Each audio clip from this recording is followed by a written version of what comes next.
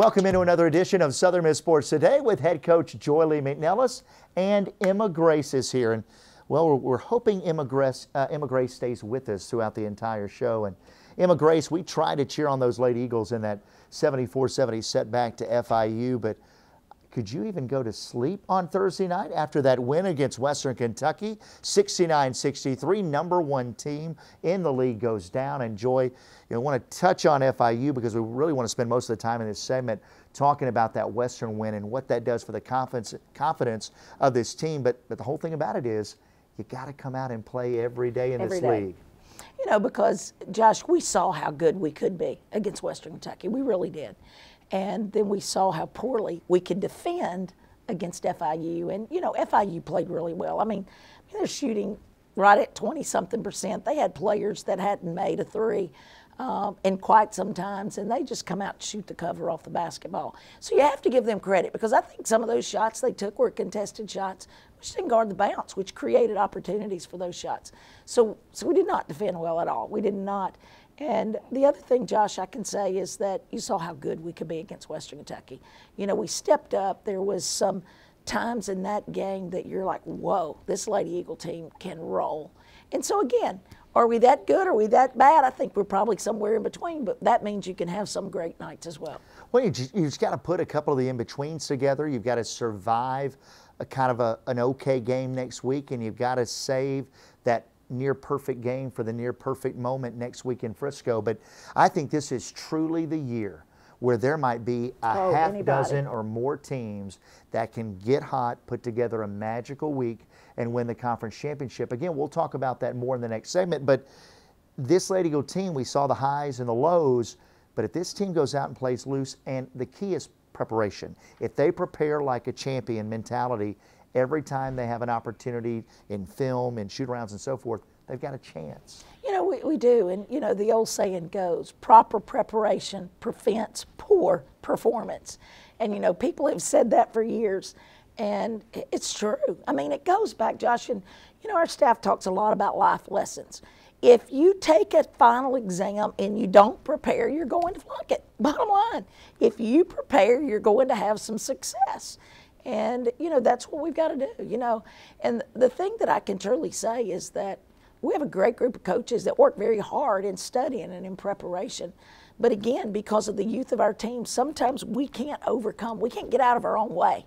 And we struggle with those things that sometimes become more of a mental aspect of it rather than a physical aspect of it. So again, you've got to not only be physically prepared, you got to be mentally prepared to be able to be successful. And you know, the thing about March Madness is it's like one of the guys said, it is March Madness. I mean, that's a prime example. Western Kentucky, play out of your mind, and then you have uh, FIU and you don't play well. That's truly what March Madness is all about.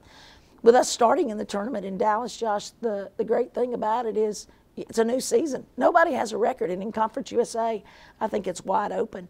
And you know, Coach Randy Norton has done a phenomenal job at UAB, and you know they're going to go in the number one seed. And congratulations to him and his staff. And I will say this, Josh, you know, it's even as good as they are, and with all due respect to his program and the top programs, I do believe this team, this tournament is a wide open tournament, and it's the team that's going to prepare, properly prepare mentally and physically, is going to be the team that gets, wins the championship. It certainly will, Coach. And again, you look at what all of this meant today, this final home game of the regular season. How about Jayla King? She goes out, hits a big bucket on cue. When it left her hand, we said, for the record on the air, and it goes through. She joins that elusive or exclusive 1,000 point club, just the 27th member of that club. You know, Josh, and she did it in three years. I mean, that's what sometimes that we forget. And then she did it while expecting a baby and her second year of playing here. So, you know, I just think that when you look at it, Jayla has really accomplished a great feat with some of the things that that she's had to face and to be able to do it in three years. Hats off to her. Proud of her and welcome to that club. We're going to take a break. When we come back, we'll wrap the show here. We'll talk about next week's tournament. We'll let you know who the couple of potential first round opponents are. A- Again, it's a wide open race, so it's really more about what the Lady Eagles are up to. And then we'll put the wrap on our final show of the year. It's been an amazingly quick year, and we'll wrap it up on the other side of the break. You're watching Southern Miss Sports Today.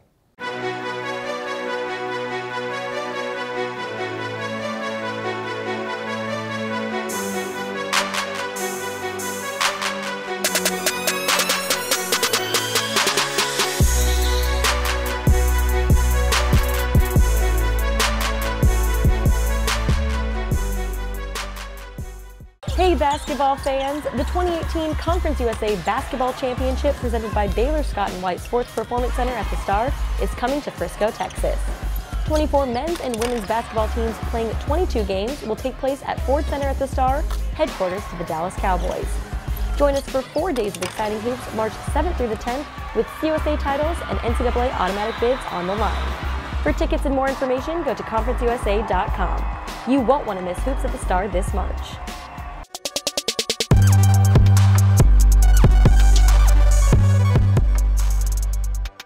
As we wrap this edition of Southern Miss Sports Today and wrap this year of Southern Miss Sports Today, heading off into March Madness, truly into the conference tournament in Frisco. It is a wide open race. Lady Eagles are going to finish anywhere in that 8, 9, 10 spot in Conference USA, more than likely 8 or 10, depending on the North Texas Rice game. And so Old Dominion losing uh, heavily at the time of this taping in Middle Tennessee. So it'll be UTEP or it could be FAU in the first round. Those two potential matchups and two challenging matchups. And again, you're really kind of wanting to get on the right side of the bracket. Lady Eagles preferring that 8 9 matchup. You know, Josh, I, you know, I agree. I think there's some teams in our league that we match up with better than others. Um, you know, Seda from UTEP is a strong post player. You know, fortunately, we played them at home. Um, we saw what Western Kentucky and losing to them at their place. Um, thank goodness the tournament's not at UTEP for sure. If that's who it is. Up, up.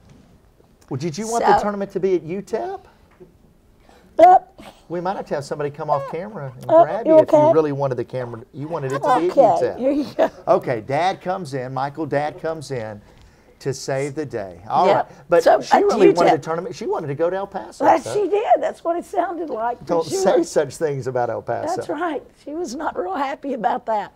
But again, that that's a tough matchup for us. FAU, you know what? They they beat us like FIU beat us. To be very honest with you, you know they just cleaned our clock. They stepped up. They played very well. So both of those opponents are going to be good.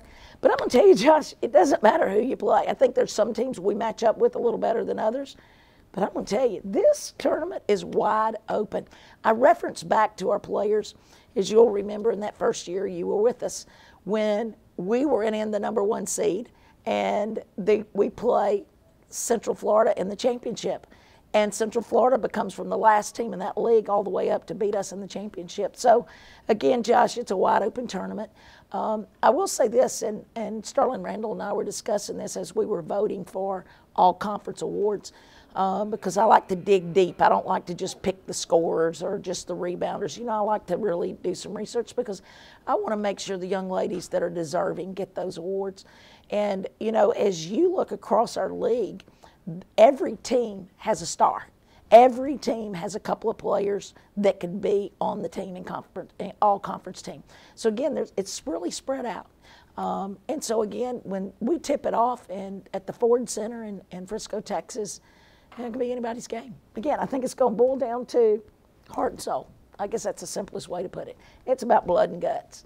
And when you lay it on the line, no matter how you feel, you put everything aside, then it makes a big difference. Well, in closing, I just want to say, as this is going to be my final show with yourself and with Craig, thank you. It has been a joy and an honor to be able to work with this program. And, you know, people say, well, Josh, where are you going? I'm not going anywhere. I'm going to buy season tickets like you should, and I'm going to join the Wings, and I'm going to be here at Reed Green Coliseum. But, but Joy, I had no idea about the video and the presentation awesome. prior, and I was just completely. I try to do my best to just kind of be in the moment and soak it in with kind of sensory overload. But that that's something I'll never forget. Thank Josh, you. I want to tell you, you know, there's people that walk in your life, and there's people you meet, and they're a part of your life, and they just go on. Uh, but truly, you're that person that has left footprints in our hearts, and you've left front footprints for many reasons. Number one, because you love our Lord and Savior Jesus Christ, and you always reference that. And, you know, for someone to do that and not only just talk about it, but live it, and that's what you've done because I've watched you from afar and I've watched you up close, and you're truly one of His children that definitely makes a difference in the lives of so many people. And I appreciate that because you know what? You've made a difference in our life. You have. And, you know, the other thing I would like to say, Josh, you have made us sound good when we stink. you know, you have made us sound like we still have chances to win and we're down 30.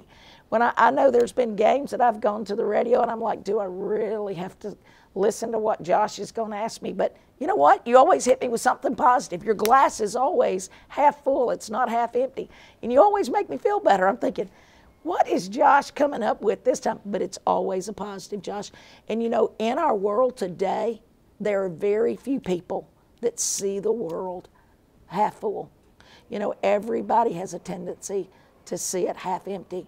And I truly believe because you're one of God's children and because you're passionate about what you do, that you will be have much success. And yes, I'll make sure you get a Wings membership before you leave, and I'll make sure you get a season ticket, and I'll expect you to be here uh, at the Lady Eagle games. But you have blessed us in so many ways, and I just want to let you know that we appreciate Stacy and Elijah. It's been fun watching him grow up and be a part of Lady Eagle basketball. But thank you, Bud, and I love you. And again, best of luck. And once a Lady Eagle, always a Lady Eagle. Uh, Coach, love you too. And uh, I guess you got to end with this when you're talking about staying positive. Back through some of the times we were watching you get this program really rolling, and Roger Cameron said, well, there's the man that could make the great flood sound exciting. That's so, right. You know what? Yeah, I thought I right. knew I had a chance. Roger, appreciate that, buddy. Uh, I knew that you meant that as a compliment. Well, for Craig Adams, for Coach McNelis, we will all see you in Frisco, Texas next week. But for now, you've been watching Southern Miss Sports Today.